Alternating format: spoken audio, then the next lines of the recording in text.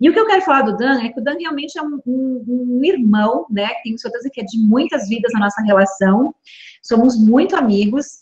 E, e, foi a pessoa que me viu lá quando ainda tinha um milhão de, quase um milhão de dívidas. É, e a gente tem umas histórias lindas para contar, né? Por exemplo, é, desde economizar o dinheiro da empregada e nós mesmos limpar o escritório, lavar chão, lavar, lavar banheiro, para poder economizar 70 reais, né? 70 reais era muito dinheiro para gente. Então a gente tem histórias realmente muito bonitas, tanto de eu pedir dinheiro emprestado para ele, como ele para mim, para pagar o aluguel da sala. E hoje nós aqui, né, ele brilhando no mundo todo, eu aqui, e é mais uma prova do, do quanto realmente temos o poder de criar a nossa realidade. Eu lembro da gente, assim, imaginar como seria se a gente estivesse vivendo a vida dos nossos sonhos, entrando num restaurante e comer aquilo que a gente quiser sem se preocupar com o valor do cardápio, como, por exemplo, foi nesse final de semana em Brasília, e de a gente ir para o melhor restaurante de Brasília e simplesmente pedir aquilo que a gente quer comer, sem se preocupar em quanto vai custar, quando, né, é, comer já foi difícil para a gente.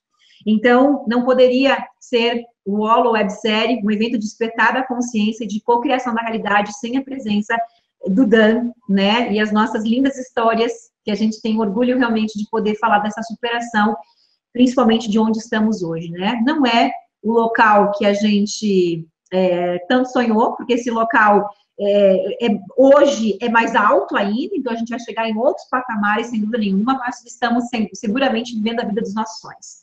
Dan, meu lindo, meu querido, meu mano, seja muito bem-vindos.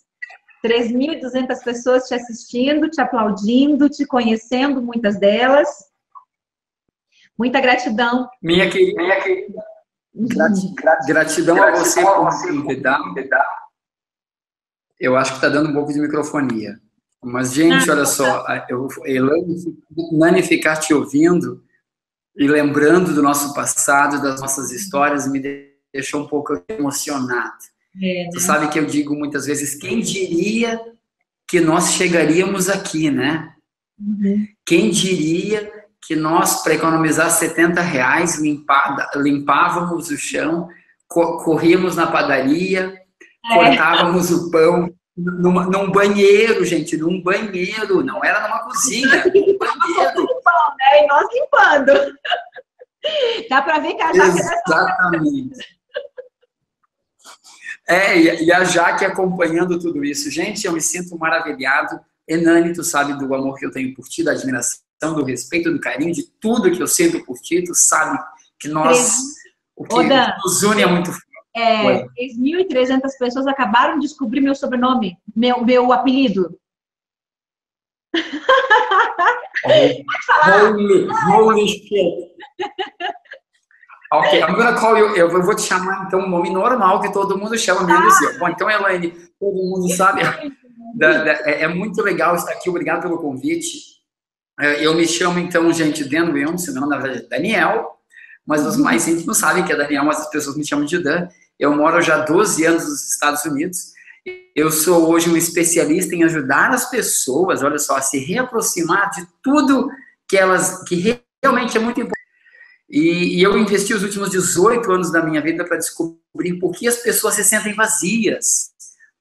E depois de estudar muitas coisas e as principais áreas do desenvolvimento humano, eu descobri que não tinha resposta pronta.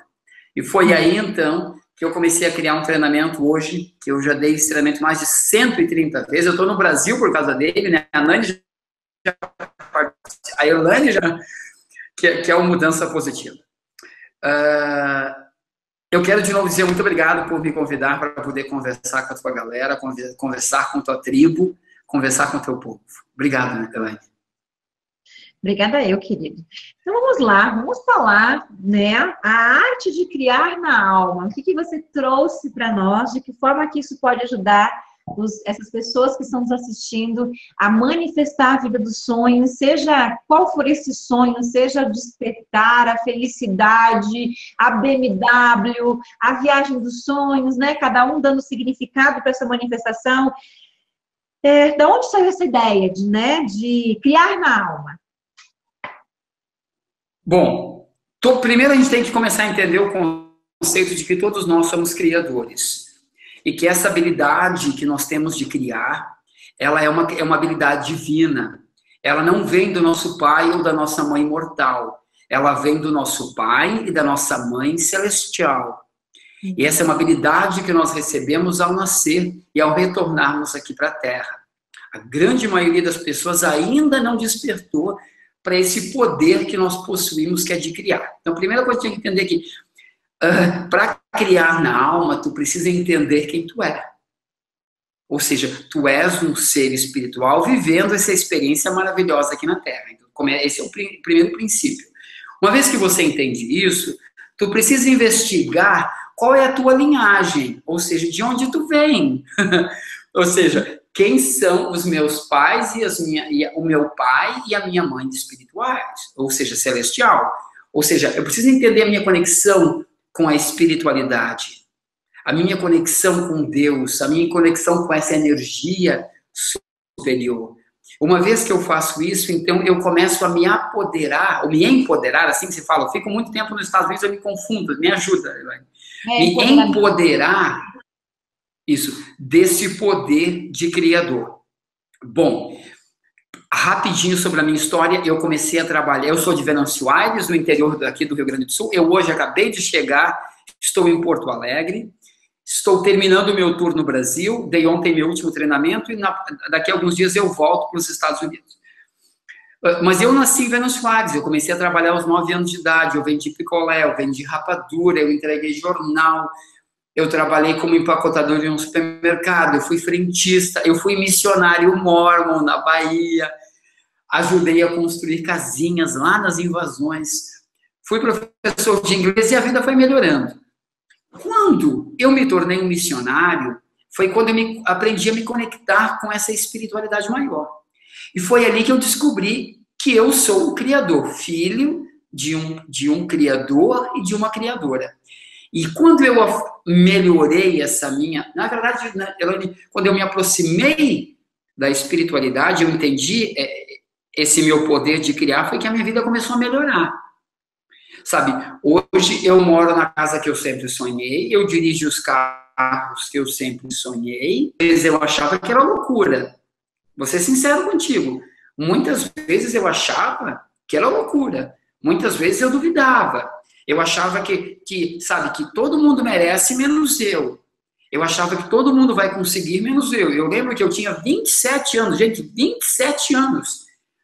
Eu olhava para as pessoas, eu ia num carro, aos 27 anos eu nunca havia dirigido um carro. Eu não sabia dirigir. E eu olhava para as pessoas e pensava, meu Deus, será que um dia eu vou ter um carro? Cara, 27 anos é pouco tempo. E eu pensava, mas meu Deus, mas, não, mas imagina, eu acho que não, porque eu não sei dirigir. E, e hoje, quando eu olho para a minha vida, eu viajando para vários países, as pessoas me contratando, eu, vivendo onde eu moro. A Elaine vai me visitar daqui a algumas semanas, gente. Ela vai conhecer a minha casa. A minha casa é um sonho. Eu literalmente moro num pedacinho da floresta amazônica. Eu moro em dois lugares. E, um, e os, ambos, ambos os dois lugares são maravilhosos. Que pensar que semana que vem eu termino meu tour e vou para Nova York, passar dez dias descansando. Aí eu vou ter um evento. Esse poder, é essa vida maravilhosa que eu levo, e eu, eu, eu falo dela não para me gabar, eu falo dela porque quando eu falo dela, eu torno ela melhor. Quando eu falo dela, eu dou mais poder de criar. É importante isso, eu preciso me dar crédito. Uh, foi, e me perdi aqui. E quando eu olho para isso tudo, eu penso, cara, que maravilha é essa vida que eu tenho. Mas como que esse processo funciona, Evane? Quando eu comecei, eu comecei a aprender física quântica contigo. E eu olhava teus vídeos e pensava, ainda bem que eu amo ela, porque ela é meio louca. E eu não entendia muito o que a Elaine falava. Aí eu comecei a pensar, cara, que estranho, por que, que eu não consigo entender? E muitas pessoas que te assistem, elas pensam, essa mulher é maluca. Eu não entendo o que ela fala. E eu lembro quando eu comecei a te ouvir pela primeira vez, Gente, eu amo ela, mas eu não entendo o que ela está dizendo, que, que, que, que, negócio é esse? Aí até que um dia, olha só, eu não te contei essa história, eu guardei para um momento especial. Até que um dia eu fui fazer uma pós em liderança em Chicago. num hotel maravilhoso. Eu fui estudar o Leadership Challenge, que a gente falou nesses dias sobre isso. E lá eu aprendi uma técnica que Junior usava para engajar as pessoas. E eu chamei essa técnica de a arte de criar na alma. Quando eu estudei aquela técnica, eu falei: peraí, mas isso tem tudo a ver com o que a Elaine ensina. A minha dificuldade com a física quântica e a minha dificuldade com os seus ensinamentos era como é que eu vibro. Porque tu falava de uma forma que. Porque para ti é muito fácil fazer isso. Mas para mim que assistiu, como é que eu vibro? Eu sou muito, e você que está me assistindo, se você é muito do racional, se você é muito dos números, sabe, da logística, da estatística, da estrutura, ainda mais se tu for virginiano que nem eu, tu tá ferrado. Tu, vai, tu não vai conseguir entender algumas coisas. Quando eu fui fazer essa pós em Chicago e eu aprendi a técnica de criar na alma do Martin Luther King Jr., fez todo sentido. Sabe por quê? Porque ali eu aprendi como que eu começo o básico da vibração. E eu sei que muitos que estão me ouvindo, que começam a estudar física quântica, estão entendendo o que eu estou dizendo. Por quê? Como é que eu começo a vibrar? Eu vou te contar a minha história, é agora. E é aí que eu criei essa técnica. Esses aqui são os primeiros passos da física quântica. E é importantíssimo começar engatinhando. Ninguém se. A Elaine não se tornou a Elaine em seis meses. Essa mulher está uma década. E por anos comendo o pão que o outro amassou para se tornar essa mulher linda e poderosa que ela é. Eu não cheguei aqui de uma hora para outra, então tô, a minha, os meus 30 minutinhos, que já passou dessa, os meus 20 minutinhos, é para falar contigo que está começando. É para falar contigo que está tá se questionando como é que eu faço para vibrar e para me, me tornar criador. Se tu não consegue vibrar como a Elaine vibra, sabe como é que tu faz? Tu usa palavras tu começa a mudar o teu vocabulário. Tu começa a criar na alma, e a criação na alma começa através das tuas palavras. Eu vou dar alguns exemplos, tudo bem, Elaine? Tu me, tu me para, tá? Se eu falar demais. Beleza? Ok. Então, o exemplo é o seguinte: tu precisa modificar a tua comunicação diária com as pessoas. E para fazer isso, a melhor forma é cuidar das tuas palavras. Em inglês, nós temos uma expressão chamada imagery. Imagery significa usar palavras que geram imagens. Para criar na alma, para aprender a vibrar, tu precisa usar palavras que geram imagens. Posso dar um exemplo rapidinho? Olha só, eu vou te contar um sonho, ok? O meu sonho é o seguinte: olha só, o meu sonho vai acontecer semana que vem quando eu chegar em casa. É um sonho bem básico. Eu quero que você preste atenção nas minhas palavras. Bom, gente, então o meu sonho é o seguinte. O meu sonho acontece semana que vem. Semana que vem, na quinta-feira, depois de cinco, seis semanas viajando por várias partes do Brasil, eu chego em casa. Eu amo a minha casa. Eu trabalhei muito para construir minha casa. Então, vai ser sete horas da manhã, na quinta-feira da semana que vem, e eu acordo com o barulho dos passarinhos. É sete da manhã. E eu então olho pela janela e eu vejo os coelhinhos do jardim correndo. Eu olho para a piscina azul, olho para as palmeiras balançando. Eu então ouço barulho na cozinha. Eu levanto e corro para a cozinha para pegar minha xícara de café. Eu vou pegar uma xícara cheia de bolinhas coloridas, vou servir o meu café e vou sair e vou para o jardim. Vou me sentar no meu banco favorito, embaixo de umas palmeiras, e vou tomar o meu café e vou meditar. Esse é o meu sonho. Aí eu pergunto para você que está assistindo em casa, o que foi que você viu? E você vai dizer, ah, eu vi tudo. Eu vi a caneca com bolinha, eu vi os coelhinhos, eu vi a piscina. Eu senti o cheiro do café. Isso é criar na alma. Só que para que você possa criar, isso leva à vibração.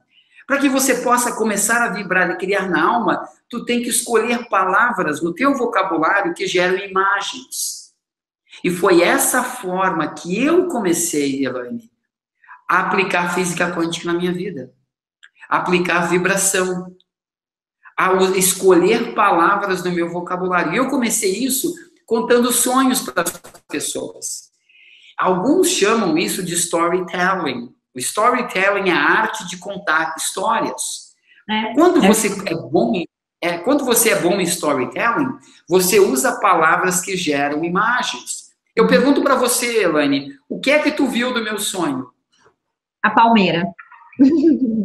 a viu a palmeira balançando? A palmeira, mas me chamou a atenção, a palmeira. Olha que incrível, né? E você está embaixo dela. É incrível, é muito básico. Nós precisamos entender que esse conceito de física quântica ou espiritualidade ou qualquer coisa é básico, é simples. Uh, então é, é, é, é, dessa forma que eu que eu que eu que eu, que eu, que eu faço.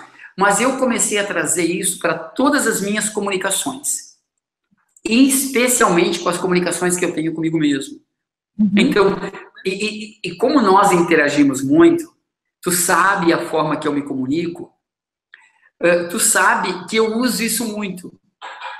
Quando nós estamos conversando e eu estou me comunicando com alguém, essa pessoa está vendo o que eu estou falando. Eu não estou simplesmente falando com alguém. Eu estou colocando imagens na mente dessa pessoa.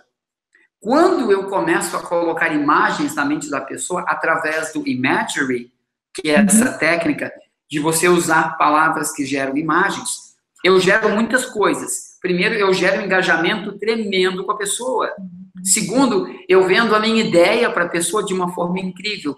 E terceiro, e mais importante, eu estou entregando para o universo o que eu quero que o universo Uhum. Se uma coisa que eu aprendi contigo, Elaine, é que o universo Deus ou a vida não me dá nada. Uhum. Apenas me devolve o que recebeu de mim. Então, imagina se você que está nos assistindo começa a conversar com as pessoas com mais consciência e a usar palavras que começam a gerar imagem na mente das pessoas, cara, tua vida te transforma. Uhum. É o básico, é simples, é muito simples. É, mas uma pergunta que muitos me fazem é: como é que eu sei? Olha só, como é que eu sei que eu estou gerando imagem na mente das pessoas? Simples. Tá gerando imagem na tua? Se gerar imagem na tua mente enquanto você fala com alguém, gera na mente das pessoas também. Tem mais uma dica, mas eu vou guardar a dica para daqui a pouco. Uhum. Show de bola.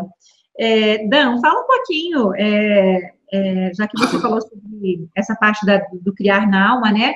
O, o, que é realmente, acho que as pessoas estão com curiosidade que você está no Brasil em virtude disso, a questão do que é, qual é, é, a principal ferramenta, a principal técnica é, dentro do mudança positiva que é o teu treinamento, mas aquela realmente que faz um, um, um, os olhos das pessoas brilharem, tipo, isso aqui mudou minha vida, aquele, aquele ahá, né?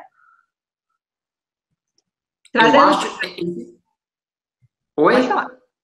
É, é, como, claro, tem muito conteúdo, eu inclusive já fiz mudança, no sentido assim de é, como é a nossa semana do despertar da consciência, da cocriação na realidade, lá dentro do mudança positiva, né? Qual que é o, o, o insight mais importante que você possa trazer para as pessoas que estão nos assistindo, para que elas possam utilizar isso no, no, no contexto de mudar a sua realidade, de criar a sua realidade?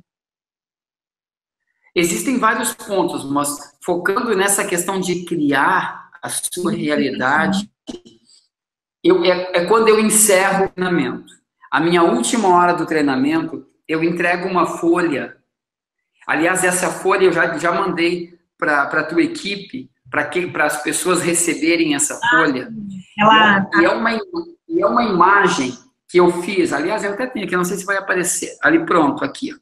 É uma imagem do é uma imagem do Martin Luther King. Uhum. E o que eu fiz? Eu criei, eu adap criei, adaptei, reformulei a metodologia, que ele, a forma que ele usava para se comunicar com as pessoas. Uhum. Então, no final do curso, eu entrego essa folha que vocês recebem, que vocês vão receber, e eu peço para as pessoas saírem, irem para o canto e visualizarem um sonho. Qualquer uhum. coisa. Tipo assim, a ideia é I have a dream. Eu tenho um sonho. E eles têm cinco minutos. Eles têm que voltar e escolher duas pessoas da sala e contar esse sonho para a pessoa. E na hora que ele conta esse sonho, ele precisa seguir os passos que estão nessa folha que as pessoas aqui vão receber. E esse passo diz é que eu chamo de a, a visão, ou, ou melhor, a imagem ideal de um futuro melhor. Uhum. Todos nós queremos um futuro melhor. Mas para criar esse futuro melhor, tu tem que ter uma imagem e, é, e, e esses passos que eu entrego para eles, que agora eu estou entregando para vocês, ajudam as pessoas a ter clareza na sua uhum. imagem. Muitas pessoas, muitas pessoas, Elaine, me dizem, primeiro que elas não sabem bem o que elas querem, mas também algumas sabem, mas não com clareza. Gente, tu não, desculpa, mas tu não vai conseguir nada na tua vida, nada, se tu não tiver clareza.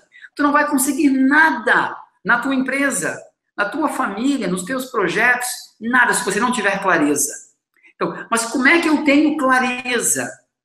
Usa esses passos que eu estou entregando aqui.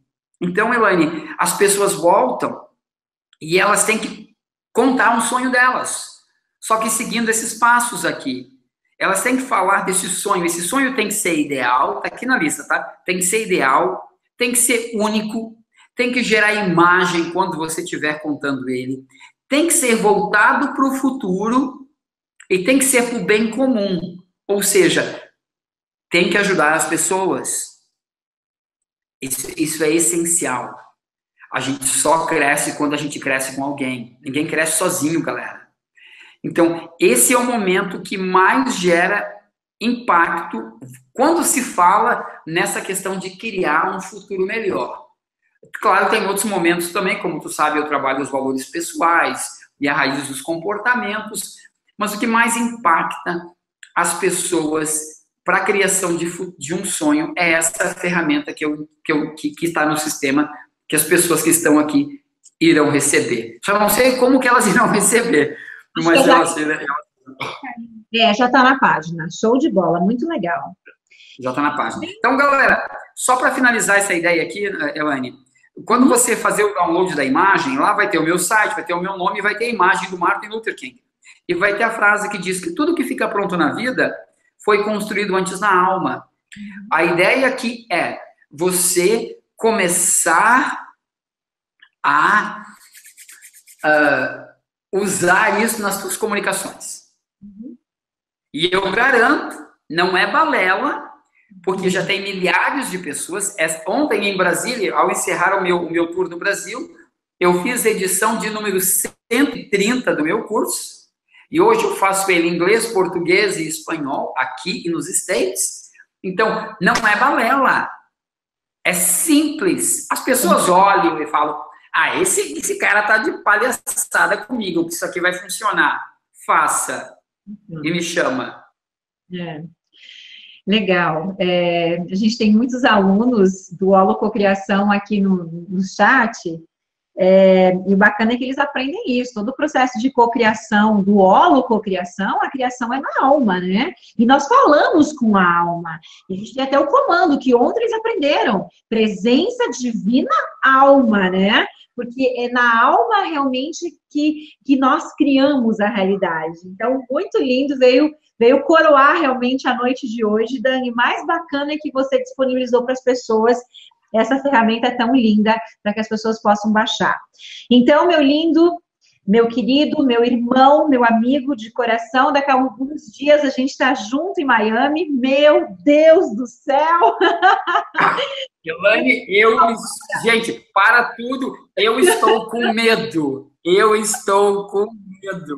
Essa parte as pessoas não conhecem. Nossa, essa nossa parte feliz, né? Vibrando em mil hertz de alegria em Miami. Essa viagem a Jaque não vai, mas na próxima de abril do Tony Robbins ela vai junto.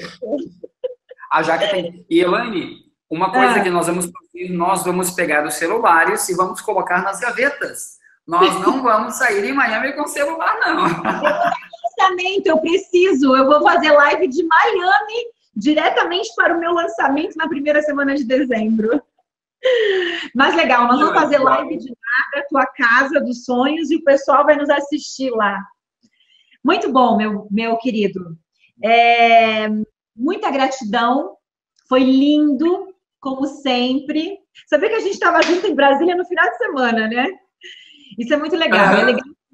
É, eu quero falar para vocês, como eu fui falando um pouquinho de cada um dos palestrantes, quero falar sobre o Dan, uma, uma, além de ter contado sobre a nossa história, da gente, é, quando eu tinha ainda as dívidas de pedir dinheiro emprestado para o Dan para pagar meu aluguel, e a gente economizar 70 reais de empregada, de faxineira para limpar o escritório, e nós limpar, porque na verdade o que acontecia? O Dan tinha um escritório, é, uma sala de treinamento é, em Caxias, e eu muitas vezes sublocava a sala dele para os treinamentos que eu vendia. E aí tinha que a empregada tinha que limpar, né? Então, ou seja, 70 reais a gente economizava, a gente limpava tudo, porque 70 reais era muito dinheiro. Nós fazíamos coffee break, nossa, tudo, né? É muito bacana a gente poder contar essa história. Mas, Dan, uma história que eu vou contar que você não sabe agora, como você me contou essa, é, que eu já falei para o Marcelo, que também as pessoas sabem que estamos sempre juntos, nós três, né? É, foi aquela vez que eu cheguei em São Paulo. Foi a tua última vinda ao Brasil. Foi a tua vinda anterior, que eu desembarquei em São Paulo. Você já estava em São Paulo. E aí você me perguntou, Nani, você chegou? Eu falei, cheguei, estou no aeroporto. E aí você me falou o seguinte: eu estava indo para a casa da doutora Roberta, que é onde eu sempre fico em São Paulo. A, a doutora Roberta vai palestrar para vocês na sexta-feira, que é minha médica e minha amiga. E aí você me mandou o WhatsApp e você falou o seguinte: então me espera que eu vou te buscar. E eu pensei, bom, ele está passando aqui perto do aeroporto, né, gente? E aí fiquei lá, uma hora esperando o Dan chegar para me buscar. E aí, quando ele chegou, eu perguntei o seguinte, uma hora depois, né, gente? Eu lá, de mala, tudo esperando por ele, imaginando que ele ia chegar em cinco minutos. Porque ele falou, então espera que eu vou te buscar. Tipo, eu tô no aeroporto, espera que eu vou te buscar, tá ali, a uma quadra do aeroporto. Eu pergunto o seguinte para ele, mas por que demorou tanto? E aí vem a parte mais linda para que vocês entendam quem é esse menino.